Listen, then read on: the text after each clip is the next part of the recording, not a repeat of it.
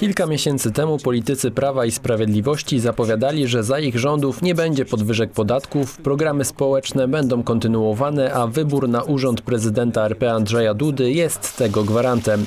Dziś okazuje się, że od 1 stycznia czekają na nas nowe daniny publiczne oraz wzrost kilku już istniejących. Dla naszego portfela nie jest to dobre. Podatki powinno się obniżać, a nie podwyższać.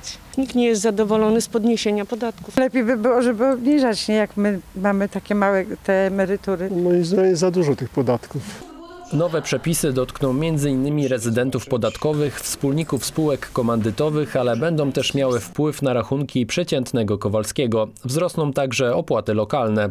Taki skokowy wzrost poziomu obciążeń musi niestety odbić się na konsumentach, e, gdyż w celu zachowania rentowności e, przedsiębiorcy będą musieli podnieść ceny oferowanych towarów i usług. E, Zatem no wszyscy, wszyscy obywatele niestety na swoich budżetach, swoich finansach odczują te działania rządu. Szczególnie odczuwalne będą tzw. Tak opłata małpkowa i podatek od cukru. Ta pierwsza została skonstruowana jako dodatkowa należność do opłaty za zezwolenie na obrót hurtowy napojami alkoholowymi. Z kolei podatek od cukru fiskus pobierze od napojów z cukrem, substancją słodzącą oraz zawierające substancje aktywne, kofeinę lub taurynę. Rządzący chcą w ten sposób zatrzymać epidemię otyłości. Nigdzie na świecie, gdzie wprowadzono podatek od cukru, nie spadło spożycie cukru. E, I każdy rząd, który to wprowadza, wie o tym. Więc to nie o to chodzi, żeby ludzie mniej jedli, czy pili e, cukru, spożywali e, w posiłkach czy napojach, tylko żeby ściągnąć więcej pieniędzy od ludzi do budżetu. Od nowego roku wzrośnie także opłata za deszczówkę, abonament RTV czy za posiadanie psa. Więcej zapłacimy również za energię elektryczną. Podwyżka związana jest z wprowadzeniem nowej opłaty mocowej.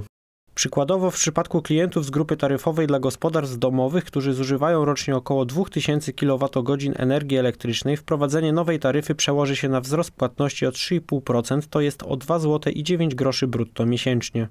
Biorąc jednak pod uwagę, że średnie zużycie prądu czteroosobowej rodziny wynosi w Polsce około 5000 kWh, to dla zdecydowanej większości z nas rachunek za prąd w każdym miesiącu automatycznie pójdzie w górę o 10 zł. Jak rządzący tłumaczą te wszystkie podwyżki?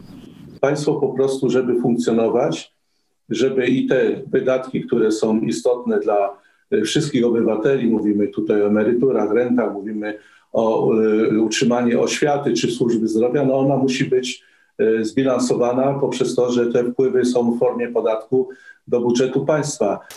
Krzysztof Czarnecki dodaje, że dzięki pieniądzom podatników państwo może także wspierać przedsiębiorców dotkniętych skutkami kryzysu, a to ma być kluczowe dla ratowania gospodarki i utrzymania miejsc pracy.